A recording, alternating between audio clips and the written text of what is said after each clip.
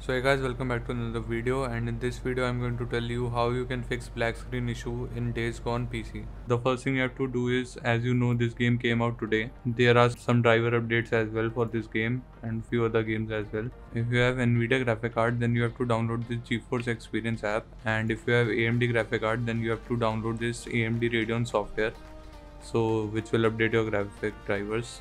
So as I have Nvidia graphic card I will download this and so as you can see here are days gone drivers and you have to download these from here and you have to install them. So after installing 90% of your issues will be fixed with this because these are the drivers are specifically for this game only. So you have to update these. The next thing and that you can do is you can open your nvidia control panel.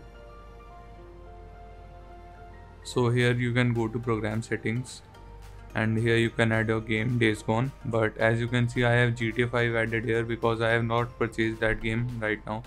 So i will show you on this. You have to do the same thing. You have to just add your game from here. You can browse the game like this. So you have to go to CUDA GPUs here. This will be selected. Use global settings. So these settings might use your integrated graphic card which comes with your processor or if you don't have one it might only use a processor to run the game which will create issues as well. So you have to select use these GPUs specifically and select the main graphic card dedicated one that you have. So as you can see I have 1050 Ti I have selected this and you have to click on OK. So there are many issues in which uh, people are having 20 uh, 2000 series graphic card or 3000 series graphic card but are getting only 20 30 fps so this will fix that and you have to click on apply now if you don't have this issue and still your fps are low you have to go to adjust image settings. Here you have to go to use my preference emphasizing and you have to drag this to performance and you have to click on apply. This will also help increasing your performance but it might reduce some quality of your windows like you can see the text and all. It might reduce a little bit but it might give you more fps in the game so now some other things that used to glitch with the game and cause stuttering. So the first thing that, you have to search is you have to search for game mode. So earlier i used to tell people that game mode should be turned off because it used to create problems but now with the latest windows update it is quite optimized. So you can just turn it on and it will help you help your game because it will optimize the other apps that are running in the background and it will also help you with the memory which this game requires a lot. So you have to keep it turned on. The next thing that you have to do is you have to open this graphic settings. Here you can see this. This is a great option to increase your performance and fps and reduce your latency as well. So you have to turn this on. You have to restart your pc after this. Then only it will work.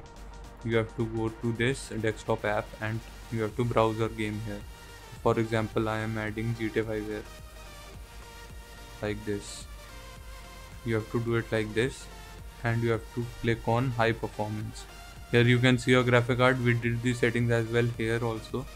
So only this option is coming. This is your graphic card. You have to click on save. Now this is high performance. Every time you turn this game on it will run on high performance. One more thing that you can do the same thing you have to go to task manager your game should be running in the background when you are doing this. So for example i am having gta 5 here. Uh, like this is my game. This is days gone. Okay so i have to put this to high performance. So there used to be an option of setting priority. So you can do that as well. But this is, is a better option because this will always do this. And in high performance mode what will happen is your game whenever you run it uh, the all the other uh, applications in the background they will get less resources and the game will get more resources which will help in increasing your fps so you should keep it like this and you have to restart your pc as well for this option to take effect. The other thing you can do is you can search for power settings. Here you have to click on high performance go to change plan settings and you have to go to change advanced power settings as well and then here you have to go to processor power management and the minimum should be 100 with the latest update it's always 100 but if by chance it's not 100 you have to keep it on 100 as well. And this is obviously 100 by default. So these settings also you can do.